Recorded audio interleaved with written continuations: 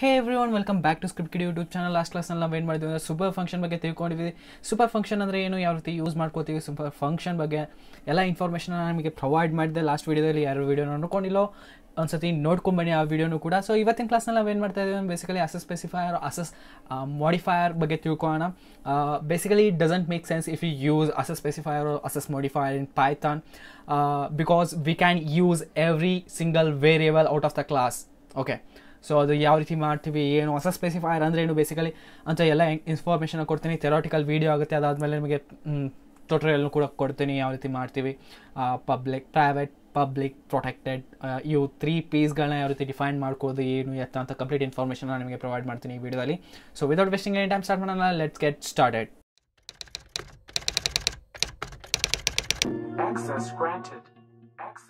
so guys class ಮುಂದುವರ್ಸೋಕ್ಕಿಂತ ಮುಂಚೆ ನಿಮಗೆ ಒಂದು ಪ್ರೊಜೆಕ್ಟ್ನ ಕೊಡ್ತೀನಿ ನಾನು. ಆ ಪ್ರಾಜೆಕ್ಟ್ ಏನಂತ ಹೇಳ್ತೀನಿ. ಅದಕ್ಕಿಂತ ಮುಂಚೆ ಒಂದು ಸತಿ ಪ್ರಮೋಷನ್ ಮಾಡಿಬಿಡೋಣ ನಮ್ಮ ಪ್ಲೇ ಲಿಸ್ಟ್ ಓಕೆ ಸೊ ಯಾರು ಈ ಪ್ಲೇಸ್ನ ಅಸೆಸ್ ಮಾಡ್ಕೊಂಡಿರೋ, ಈ ಪ್ಲೇಲಿಸ್ಟ್ನ ಇಲ್ಲಿಂದ ಅಸೆಸ್ ಮಾಡ್ಕೊ, ಮಾಡ್ಕೊಳ್ಳಿ. ನೋಡ್ಬೋದು ಇಲ್ಲಿ ಫೋರ್ಟಿ ಒನ್ ವೀಡಿಯೋಸ್ಗಳನ್ನ ಅಪ್ಲೋಡ್ ಮಾಡಿದ್ದೀನಿ ನಾನು ರಿಲೇಟೆಡ್ ಟು ಪಾಯ್ತಾನ್ ತುಂಬ ಒಳ್ಳೆ ಕಂಟೆಂಟ್ ಬರೋದಿದೆ. ಇನ್ನು ಮುಂದೆ, ಇನ್ ಫ್ಯೂಚರ್ನಲ್ಲೂ ಕೂಡ ಒಂದಿಷ್ಟು ಗೇಮ್ಸ್ಗಳನ್ನ ಅಪ್ಲೋಡ್ ಮಾಡೋಣ ರಿಲೇಟೆಡ್ ಟು ಪೈಥಾನ್ ಪೈಟ ಪಾಯ್ತಾನಿಂದ ಯಾವ ರೀತಿ ಗೇಮ್ಸ್ಗಳನ್ನ ಡೆವಲಪ್ ಮಾಡ್ತೀವಿ ಅನ್ನೋದ್ರ ಬಗ್ಗೆ.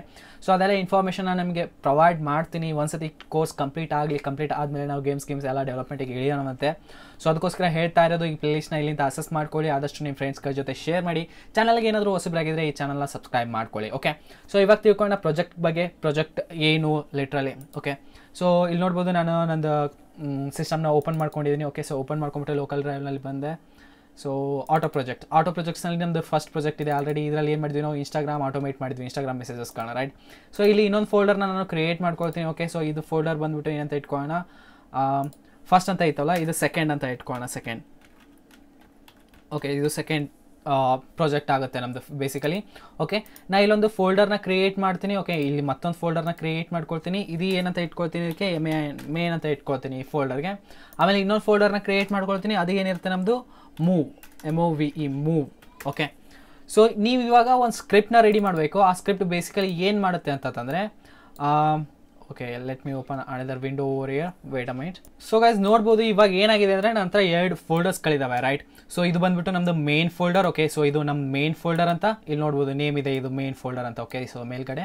ಸೊ ಇದು ಬಂದ್ಬಿಟ್ಟು ನಮ್ಮದು move folder basically move folder ಆಮೇಲೆ ನೇಮ್ ಫೋಲ್ಡರ್ ಎರಡು ಫೋಲ್ಡರ್ಸ್ಗಳನ್ನ ಏನಕ್ಕೆ ಕ್ರಿಯೇಟ್ ಮಾಡಿದ್ದೀನಿ ಅಂತಂದರೆ, ನಾ ಏನೇ ಫೈಲ್ಸ್ಗಳಾಗಿರಲಿ ಅದು ಇಮೇಜ್ ಫೈಲ್ ಆಗಿರಲಿ ಎಕ್ಸಿ ಫೈಲ್ ಆಗಿರಲಿ, ಅಥವಾ ಒಂದು ಟೆಕ್ಸ್ಟ್ ಫೈಲ್ ಆಗಿರಲಿ ಏನೇ ಆಗಿರಲಿ, ನಾ ಏನಾದರೂ ಅದನ್ನು ಮೇನ್ ಫೈಲ್ ಫೈಲ್ನಲ್ಲಿ ಹಾಕಿದೆ ಅಂತ ಇಟ್ಕೊಳ್ಳಿ, ಅದು ಆಟೋಮೆಟಿಕಲಿ ಮೂವ್ ಫೈಲ್ಗೆ ಮೂವ್ ಆಗಬೇಕು.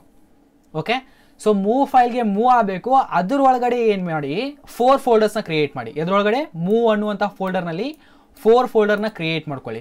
ಫಸ್ಟ್ ಒಂದು ಬಂದುಬಿಟ್ಟು ನಮ್ಮದು ಇಮೇಜ್ ಓಕೆ ಸೊ ಇದು ಏನು ಮಾಡುತ್ತೆ ಇಮೇಜ್ ಟೈಪ್ ಫೈಲ್ಸ್ಗಳನ್ನ ಸೇವ್ ಮಾಡಿ ಇಟ್ಕೊಳ್ಳುತ್ತೆ.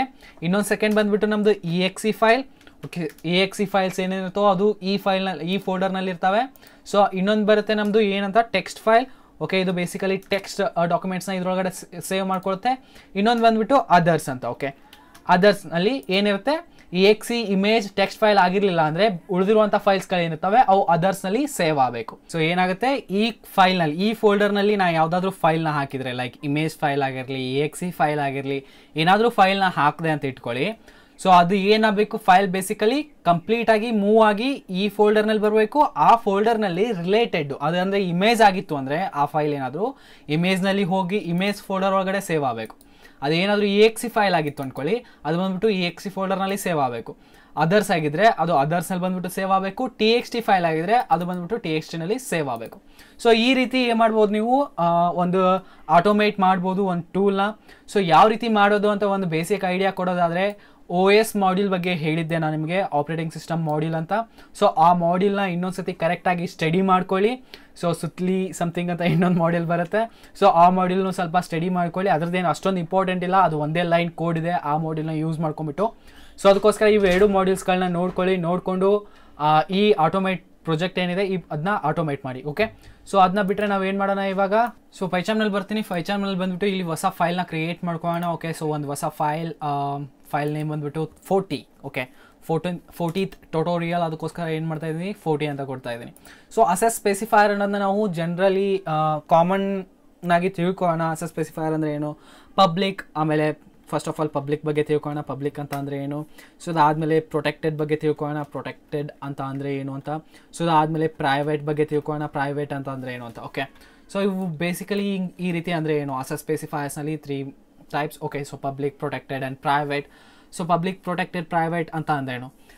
ಪಬ್ಲಿಕ್ ಅಂತ ಅಂದರೆ ಫಾರ್ ಎಕ್ಸಾಂಪಲ್ ಕೊಡೋದಾದರೆ, ಇವಾಗ ಯೂನಿವರ್ಸಿಟಿಯಿಂದ ಏನಾದರೂ ನೋಟಿಸ್ ಬಂತು ಅಂತ ಇಟ್ಕೊಳ್ಳಿ ಓಕೆ ಸೊ ಯೂನಿವರ್ಸಿಟಿದೇ ಆಗಿರಲಿ ಅಥವಾ ನಮ್ಮ ಗೌರ್ಮೆಂಟೇ ಏನಾದರೂ ನೋಟಿಸ್ ಕೊಡ್ತಾ ಇದೆ ಅಂತ ಇಟ್ಕೊಳ್ಳಿ, ಅಥವಾ ನಿಮ್ಮ ಸ್ಕೂಲ್ನಲ್ಲಿ ಯಾವುದಾದ್ರೂ ನೋಟಿಸ್ ಬಂದಿದೆ ಅಂತ ಇಟ್ಕೊಳ್ಳಿ.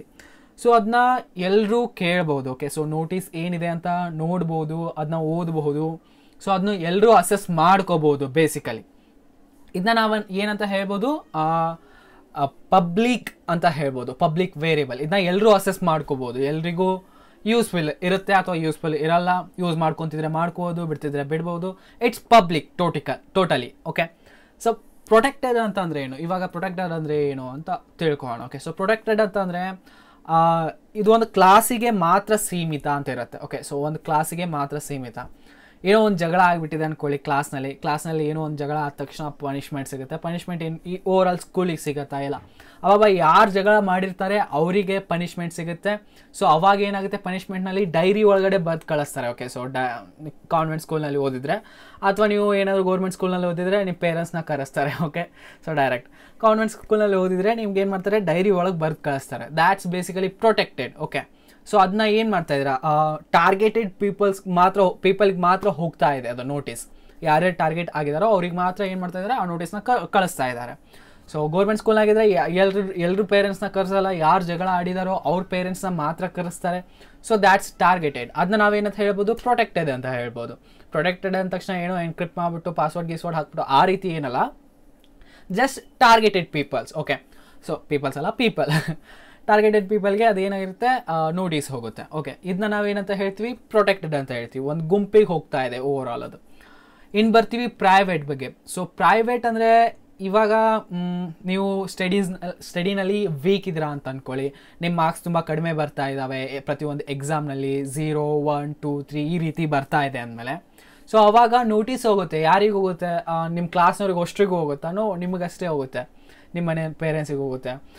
ನಿಮ್ಮ ಹುಡುಗ ಕರೆಕ್ಟಾಗಿ ಓದ್ತಾ ಇಲ್ಲ. ಎಕ್ಸಾಮ್ಸ್ಗಳೆಲ್ಲ ಕಡಿಮೆ ಮಾರ್ಕ್ಸ್ ಬರ್ತಾ ಇದ್ದಾವೆ ಸೊ ಅಲ್ಲಿ ಏನು ಮಾಡಿದ್ದಾರೆ ಸಿಂಗಲ್ ಒಬ್ಬ ವ್ಯಕ್ತಿಗೆ ಟಾರ್ಗೆಟ್ ಮಾಡಿದ್ದಾರೆ that's basically private it's your private matter okay so ನೀವು ಓದ್ತಾ ಇಲ್ಲ, ನೀವು ಕರೆಕ್ಟಾಗಿ ರೆಸ್ಪಾಂಡ್ ಮಾಡ್ತಾ ಇಲ್ಲ ಎಕ್ಸಾಮ್ಸ್ಗಳಿಗೆ ಅಂತ ಅಂದಮೇಲೆ ದ್ಯಾಟ್ಸ್ ಯುವರ್ ಪರ್ಸ್ನಲ್ ಮ್ಯಾಟರ್ ಅದಕ್ಕೋಸ್ಕರ ಅದನ್ನ ಇಟ್ಕೊಂಡ್ಬಿಟ್ಟು ಇಡೀ ಊರ ಮುಂದೆ ಹೇಳ್ಕೊಂಡು ಅಡ್ಡಾಡೋಕ್ಕಾಗುತ್ತಾ? ಇವ್ನು ಸರಿಯಾಗಿ ಓದ್ತಾ ಇಲ್ಲ, ಇವ್ನು ಸರಿಯಾಗಿ ಓದ್ತಾ ಇಲ್ಲ ಅಂತ.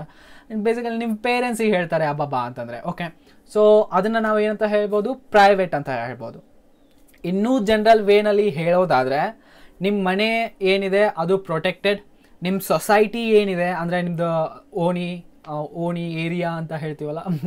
ಸೊ ಅದನ್ನು ಏನಂತ ಹೇಳ್ಬೋದು? ಪಬ್ಲಿಕ್ ಅಂತ ಹೇಳ್ಬೋದು? ಏರಿಯಾಗೆ ಯಾರಾದರೂ ಬರ್ಬೋದು? ಹೋಗ್ಬೋದು. ಯಾರು ಕೇಳಲ್ಲ ಅಷ್ಟೊಂದು. ಓಕೆ ಸೊ ನಿಮ್ಮ ಮನೆಗೆ ಅದು ಪ್ರೊಟೆಕ್ಟೆಡ್ ಇದೆ. ನಿಮ್ಮ ಮನೆ ಬಿಲಾಂಗ್ ಆದವ್ರು ಮಾತ್ರ ಒಳಗಡೆ ಬರ್ಬೋದು. ಅಂದರೆ ನಿಮ್ಮ ರಿಲೇಟಿವ್ಸ್ ಆಗಿರಲಿ ನೀವಾಗಿರಲಿ ನಿಮ್ಮ ಮನೇಲಿ ಹೋಗ್ಬೋದು. ಇನ್ನು ಬರುತ್ತೆ ಪ್ರೈವೇಟ್ ಬಗ್ಗೆ ಅಂದರೆ ಅದು ನಿಮ್ಮ ಬೆಡ್ರೂಮ್ ರೈಟ್ ಸೊ ನಿಮ್ಗೆ ಏನಾದರೂ ಸಪ್ರೇಟ್ ಬೆಡ್ರೂಮ್ ಇದ್ದರೆ ನಿಮ್ಮ ಬೆಡ್ರೂಮ್ ಅದು ಏನಾಯಿತು? ನಿಮ್ಮ ಪ್ರೈವೇಟ್ ಪ್ಲೇಸ್ ಓಕೆ ಸೊ ಅಲ್ಲಿ ನಿಮ್ಮ ಮನೆಯವ್ರು ಕೂಡ ಬರಬೇಕಂದ್ರೆ ಪರ್ಮಿಷನ್ ತೊಗೊಂಬರ್ಬೇಕು ಆ್ಯಕ್ಚುಲಿ ಇಂಡಿಯಾದಲ್ಲಿ ಆ ರೀತಿಯಾದಂಥ ಏನು ರೂಲ್ಸ್ ಇಲ್ಲ. ಮನೆಯಲ್ಲಿ ಅಂದಮೇಲೆ ಮುಗೀತು, ಎಲ್ಲ ಅವ್ರದ್ದೇ ಇರುತ್ತೆ okay so public protected private ಬಗ್ಗೆ ಹೇಳೋದಾದರೆ ಪಬ್ಲಿಕ್ನ ನಾವು ಎದಕ್ಕೆ ಕಂಪೇರ್ ಮಾಡ್ಬೋದು? ಏರಿಯಾಗೆ ಏರಿಯಾಗೆ ಯಾರು ಬೇಕಾದರೂ ಬರ್ಬೋದು, ಜಾಸ್ತಿ ತಲೆ ಕೆಡ್ಸ್ಕೊಳ್ಳಲ್ಲ ಪ್ರೊಟೆಕ್ಟೆಡ್ ಮ್ಯಾಟರಿಗೆ ಬಂದರೆ ಅದು ನಿಮ್ಮದು ಹೌಸ್ ಆಗುತ್ತೆ ನಿಮ್ಮ ಮನೆ ಆಗುತ್ತೆ. ಸೊ ಅಲ್ಲಿಗೆ ರಿಲೇಟಿವ್ಸ್ ಆಮೇಲೆ ಯಾರು ಬಿಲಾಂಗ್ ಆಗಿರ್ತಾರೋ ಬೇಸಿಕಲಿ ಆ ಮನೆಗೆ ಅವ್ರು ಬರ್ಬೋದು, ಹೋಗ್ಬೋದು ಓಕೆ ಸೊ ಇನ್ನು ಪ್ರೈವೇಟ್ ಬಂದುಬಿಟ್ರೆ ನಿಮ್ಮ ಬೆಡ್ರೂಮ್ ನಿಮ್ಮ ಬೆಡ್ರೂಮ್ಗೆ ಯಾರೂ ಬರಂತಿಲ್ಲ, ಅದು ನಿಮ್ಮದು ಪ್ರೈವೇಟ್ ಪ್ಲೇಸ್ ನೀವು ಮಾತ್ರ ಇರೋದು. ಸೊ ಈ ರೀತಿ ಲೆಮನ್ ಲ್ಯಾಂಗ್ವೇಜ್ನಲ್ಲಿ ಎಕ್ಸ್ಪ್ಲೇನ್ ಮಾಡ್ಬೋದು ಪಬ್ಲಿಕ್ ಪ್ರೊಟೆಕ್ಟೆಡ್ ಪ್ರೈವೇಟ್ ಬಗ್ಗೆ. ಇನ್ನು ಆಬ್ಜೆಕ್ಟ್ ಓರಿಯೆಂಟೆಡ್ ಪ್ರೋಗ್ರಾಮಿಂಗ್ನಲ್ಲಿ ಪಬ್ಲಿಕ್ ಪ್ರೊಟೆಕ್ಟೆಡ್ ಪ್ರೈವೇಟ್ ಅಂತಂದರೆ ಒಂದು ವೇರಿಯಬಲ್ ಇದೆ. ಆ ವೇರಿಯಬಲ್ನ ಪಬ್ಲಿಕ್ ಮಾಡಿದಾಗ ಏನಾಗುತ್ತೆ? ಯಾರು ಬೇಕಾದರೂ ಆ ವೇರಿಯಬಲ್ನ ಯೂಸ್ ಮಾಡ್ಕೋಬೋದು. ಓಕೆ ಸೊ ಯಾರು ಬೇಕಾದ್ರೂ ಆ ವೇರಿಯಬಲ್ನ ಯೂಸ್ ಮಾಡ್ಕೋಬೋದು. ಪ್ರೊಟೆಕ್ಟೆಡ್ ಮಾಡಿದಾಗ ಆ ವೇರಿಯಬಲ್ನ ಆ ಕ್ಲಾಸ್ಗೆ ಬಿಲಾಂಗ್ ಆಗಿ, ಆಗಿರೋರು ಮಾತ್ರ ಅದನ್ನು ಯೂಸ್ ಮಾಡ್ಕೋಬೋದು. ಓಕೆ ಸೊ ಪ್ರೊಟೆಕ್ಟ್ ಮಾಡ್ತೀವಲ್ಲ ವೇರಿಯಬಲ್ನ ಆ ಟೈಮ್ನಲ್ಲಿ ಏನಾಗುತ್ತೆ? ಯಾರು ಕ್ಲಾಸಿಗೆ ಬಿಲಾಂಗ್ ಆಗಿರ್ತಾರೋ, ಅವ್ರು ಮಾತ್ರ ಆ ವೇರಿಯಬಲ್ನ ಅಸೆಸ್ ಮಾಡ್ಕೋತಾರೆ ಯೂಸ್ ಮಾಡ್ಕೋಬಹುದು. ಸೊ ಇನ್ ಪ್ರೈವೇಟ್ ಮ್ಯಾಟರ್ನಲ್ಲಿ ಬಂದರೆ ಕ್ಲಾಸ್ ಒಳಗಡೆ ಮಾತ್ರ ನಾವು ಆ ವೇರಿಯಬಲ್ನ ಯೂಸ್ ಮಾಡ್ಕೋಬಹುದು. ಓಕೆ ಕ್ಲಾಸಿಂದ ಹೊರಗಡೆ ನಾವು ಯೂಸ್ ಮಾಡ್ಕೊಳಕ್ಕೆ ಆಗಲ್ಲ. ಬೇಸಿಕಲಿ ಈ ರೂಲ್ಸ್ ಏನಿದಾವಲ್ಲ, ಈ rules object oriented programming in ಪೈಥಾನಲ್ಲಿ apply ಆಗಲ್ಲ. ಮೋಸ್ಟ್ ಕಾಮನ್ಲಿ ಯಾಕೆಂದರೆ ನಾವು ಯಾವ ವೇರಿಯಬಲ್ ಬೇಕಾದ್ರೂ ಕೂಡ ಎಲ್ಲಿ ಬೇಕಾದ್ರೂ ಯೂಸ್ ಮಾಡ್ಕೋಬೋದು. ಓಕೆ ಸೊ ಅದೊಂದು ಅಡ್ವಾಂಟೇಜ್ ಅಂತ ಅನ್ನೋದ್ರು ಹೇಳಿ ಡಿಸ್ಅಡ್ವಾಂಟೇಜ್ ಅಂತ ಅನ್ನೋದ್ರು ಹೇಳಿ. ಸಿ ಪ್ಲಸ್ ಪ್ಲಸ್ಲಿಂದ ಬಂದವರು, ಅಲ್ಲಿ ಆಬ್ಜೆಕ್ಟ್ ಓರಿಯೆಂಟೆಡ್ ಪ್ರೋಗ್ರಾಮಿಂಗ್ ಮಾಡಿದವರು ಸೊ ಇಲ್ಲಿ ಬಂದ್ಬಿಟ್ಟು ಆಬ್ಜೆಕ್ಟ್ ಓರಿಯೆಂಟೆಡ್ ಪ್ರೋಗ್ರಾಮಿಂಗ್ ಮಾಡ್ತಾ ಇದ್ರೆ ಅವ್ರು ಅಂತಾರೆ it's an disadvantage okay so ನಾವು ಇವಾಗ ಪೈಥಾನಲ್ಲಿ ಆಬ್ಜೆಕ್ಟ್ ಓರಿಯೆಂಟೆಡ್ ಪ್ರೋಗ್ರಾಮಿಂಗ್ ಮಾಡಿರ್ತೀವಿ ಹೋಗ್ಬಿಟ್ಟು ಸಿ ಪ್ಲಸ್ ಪ್ಲಸ್ನಲ್ಲಿ ಮಾಡಿದ್ರೆ. ನಾವೇನಂತ ಹೇಳ್ತೀವಿ ದ್ಯಾಟ್ಸ್ ಆ್ಯಕ್ಚುಲಿ ಅನ್ ಅಡ್ವಾಂಟೇಜ್ ಅಂತ ಹೇಳ್ತೀವಿ. ಓಕೆ ಅದು ಅವ್ರವ್ರ ಕನ್ವೀನಿಯೆಂಟ್ ಓಕೆ ಅವ್ರವ್ರ ಪಾಯಿಂಟ್ ಆಫ್ ವ್ಯೂ ರೈಟ್ ಆದರೂ ಕೂಡ ಆಬ್ಜೆಕ್ಟ್ ಓರಿಯೆಂಟೆಡ್ ಪೈಥಾನಲ್ಲಿ ಕೂಡ private public protected private access specifiers ಇದ್ದಾವೆ ಡಿಫೈನರ್ ಇದ್ದಾವೆ ಸೊ ಯಾವ ರೀತಿ ಡಿಫೈನ್ ಮಾಡ್ಕೊಳ್ತೀವಿ ಏನು ಅದ್ರ ಬಗ್ಗೆ ತಿಳ್ಕೊಳ್ಳೋಣ ಸೊ ಅದಕ್ಕಿಂತ ಮುಂಚೆ ನಾನು ಇಲ್ಲೇನು ಮಾಡ್ತೀನಿ, ಒಂದು ಕ್ಲಾಸ್ನ ಕ್ರಿಯೇಟ್ ಮಾಡ್ಕೊಂಡ್ಬಿಡ್ತೀನಿ. ಕ್ಲಾಸ್ ಅಂತ ಬಂದುಬಿಟ್ಟು ಇದು ಸ್ಕೂಲ್ ಅಂತ ಇಟ್ಕೊಳ್ಳೋಣ S C H W L school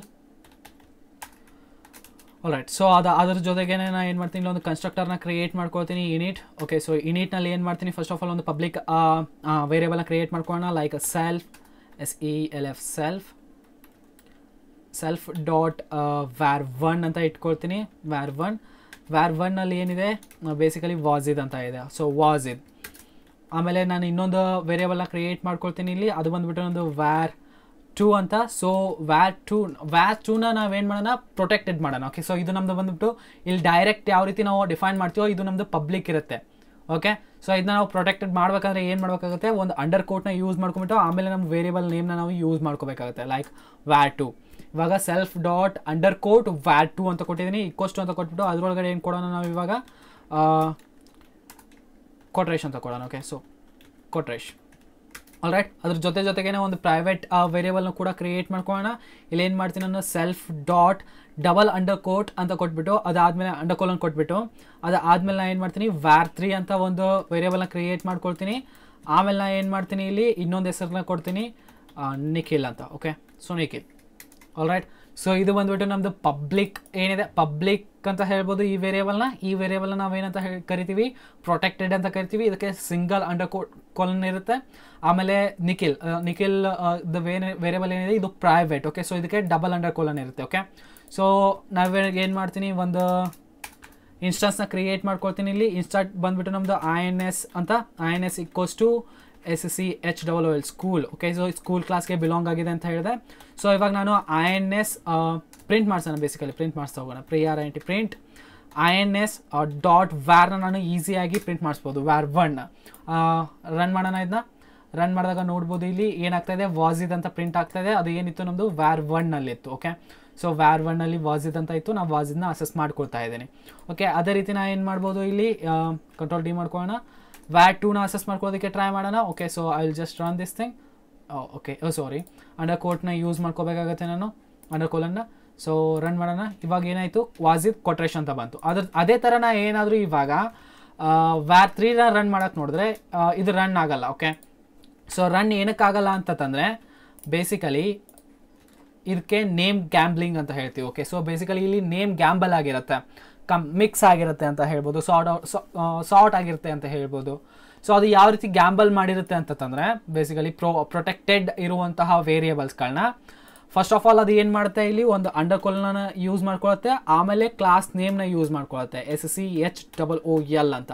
use ಮಾಡ್ಕೊಂಬಿಟ್ಟು double underscore var three ಈ ರೀತಿ ಏನು ಮಾಡಿರುತ್ತೆ? ಆ ವೇರಿಯಬಲ್ ನೇಮ್ನ ಅದು ಸೇವ್ ಮಾಡ್ಕೊಂಡಿರುತ್ತೆ. ಪ್ರೊಟೆಕ್ಟೆಡ್ನಲ್ಲಿರುವಂಥ ವೇರಿಯಬಲ್ಸ್ಗಳನ್ನ ಯಾವಾಗ ನಾ ಈ ರೀತಿ ರನ್ ಕೊಟ್ಬಿಟ್ಟು ರನ್ ಕೊಡ್ತೀನೋ, ಅವಾಗ ಏನಾಗುತ್ತೆ? ನಂದು ನಿಖಿಲ್ ಅನ್ನೋದು ಸಿಗುತ್ತೆ ಓಕೆ ಸೊ ಇದು ಬೇಸಿಕಲಿ ಪ್ರೊಟೆಕ್ಟೆಡ್ ವೇರಿಯಬಲ್ ಓಕೆ ಅದು ಇದೇ ರೀಸನಿಗೋಸ್ಕರ ಹೇಳಿದ್ದು ನಾನು okay so basically access specifier ಏನಾಗಲ್ಲ ವರ್ಕ್ ಆಗಲ್ಲ, ಅಷ್ಟೊಂದು ಇಂಪಾರ್ಟೆಂಟ್ ಅನ್ಸಲ್ಲ ನಮ್ಮದು ಆಬ್ಜೆಕ್ಟ್ ಓರಿಯೆಂಟೆಡ್ ಪ್ರೋಗ್ರಾಮಿಂಗ್ನಲ್ಲಿ ಏನಕ್ಕೆ ಅಂದರೆ, ನಾವು ಯಾವುದೇ ಒಂದು ವೇರಿಯೇಬಲ್ನ ಆಗಿರಲಿ, ಎಲ್ಲಿ ಬೇಕಾದರೂ ಯೂಸ್ ಮಾಡ್ಕೋಬೋದು ನಮ್ಮ ಪ್ರೋಗ್ರಾಮಿಂಗ್ ಲ್ಯಾಂಗ್ವೇಜ್ನಲ್ಲಿ ಜಸ್ಟ್ ನಮ್ಗೆ ಏನು ಗೊತ್ತಿರಬೇಕು? ಸಿಂಟ್ಯಾಕ್ಸ್ ಗೊತ್ತಿರಬೇಕು. That's it okay so object oriented programming ಅಂದಮೇಲೆ ಆಸ್ ಎ ಸ್ಪೆಸಿಫೈರ್ ಬಗ್ಗೆ ಎಕ್ಸ್ಪ್ಲೈನ್ ಮಾಡೋದು ತುಂಬಾ ಇಂಪಾರ್ಟೆಂಟ್ ಆಗುತ್ತೆ. ಅದಕ್ಕೋಸ್ಕರ ಈ ಟಾಪಿಕ್ನ ಕೂಡ ನಾನು ಕವರ್ ಮಾಡ್ಕೊಂಡಿದ್ದೀನಿ ಸೊ ಗೊತ್ತಿರಲಿ, ಯಾರಾದರೂ ನಾಳೆ ಆಬ್ಜೆಕ್ಟ್ ಓರಿಯೆಂಟೆಡ್ ಪ್ರೋಗ್ರಾಮಿಂಗ್ ಕಲ್ತಿದ್ದೀನಿ ಅಂದ ತಕ್ಷಣ, ಅಂದರೆ ಹೇಳ್ಬಿಡಪ್ಪ ಆಸ್ ಎ ಸ್ಪೆಸಿಫೈರ್ ಯಾವ್ಯಾವ ಅಂತ. ಕೇಳಿದ್ರೆ ಸೊ ಅಟ್ಲೀಸ್ಟ್ ಎಕ್ಸ್ಪ್ಲೈನ್ ಮಾಡೋಕ್ಕಾದ್ರೂ ಗೊತ್ತಿರಬೇಕಲ್ವಾ? ಪಬ್ಲಿಕ್ ಪ್ರಾ ಪ್ರೊಟೆಕ್ಟೆಡ್ ಪ್ರೈವೇಟ್ ಅಂತ ಸ್ಪೆಸಿಫೈರ್ ಇದಾವೆ ಪಬ್ಲಿಕ್ ಅಂದರೆ ಏನು ಪ್ರೊಟೆಕ್ಟೆಡ್ ಅಂದರೆ ಏನು ಪ್ರೈವೇಟ್ ಅಂದರೆ ಏನು ಅಂತ ಅಟ್ಲೀಸ್ಟ್ ಎಕ್ಸ್ಪ್ಲೈನ್ ಮಾಡೋಕ್ಕಾದ್ರೂ ಗೊತ್ತಿರಬೇಕು. ಅದಕ್ಕೋಸ್ಕರ ಎಕ್ಸ್ಪ್ಲೈನ್ ಮಾಡಿದೆ ನಿಮಗೆ ಇದನ್ನ I hope I think so ನಿಮ್ಗೆ ಅಂಡರ್ಸ್ಟ್ಯಾಂಡ್ ಆಗಿರ್ಬೋದು. ವಿಡಿಯೋ ಇಷ್ಟಾಗಿದ್ರೆ ಲೈಕ್ ಮಾಡಿ ನಿಮ್ಮ ಫ್ರೆಂಡ್ಸ್ಗಳ ಜೊತೆ ಶೇರ್ ಮಾಡಿ. ನೆಕ್ಸ್ಟ್ ವಿಡಿಯೋದಲ್ಲಿ ಅಲ್ಲಿವರೆಗೂ ನೋಡ್ತಾರೆ ಎಂಜಾಯ್ ಮಾಡ್ತಾರೆ, ಕಲ್ತಾರಿ, ಕಲಿಸಾರಿ. ಜೈ ಹಿಂದ್, ವಂದೇ ಮಾತರಂ.